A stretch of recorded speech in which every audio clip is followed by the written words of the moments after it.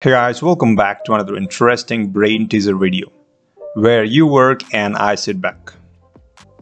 Okay, let's jump into the question. Given an array with 2n plus 1 integer elements where n elements appear twice at different places in the array and single element appear only once somewhere inside. We need to design the circuit to find the value that appears only once. Let's take an example for a better understanding. Here's an array which consists of 5 elements 7, 5, 9, 5 and 7. The output from our design circuit must be 9. Up to this point the question seems to be easy, but here's the twist. We need to design the circuit with minimum hardware. So here's the complete question. Now you can pause the video and solve it and come back later for the solution. Hey, wait a minute. You might be new to my channel. So to come back later, please do subscribe and turn your notifications on so that you don't miss out the solution and any upcoming videos. So welcome back. Before going to the solution, let's understand the basic properties of XOR gate. A XOR 0 is A. Any value XORed with 0 is itself.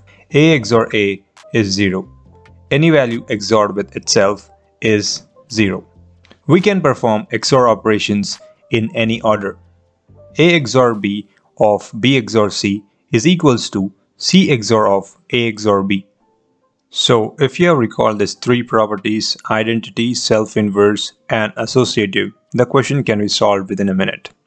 So we will be using a counter to get the data out from array or SRAM and XOR it and we will store this value back.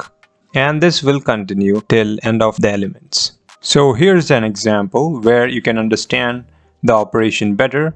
Here we have 5 elements 7, 5, 9, 5, 7. Now we will perform XOR operation on it. 5 XOR 7 is 2 and 2 XOR 9 is 11. 11 XOR 5 is 14 and 14 XOR 7 is 9.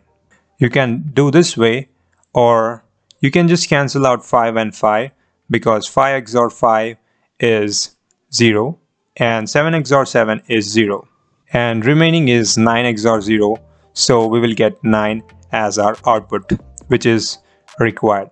So the hardware used is a single XOR gate, a counter to move the pointer and a register. If there is any better way please comment down below and I'm open to learn.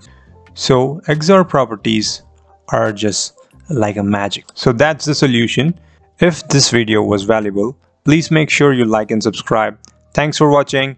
Namaste. Jai Just normal Google things.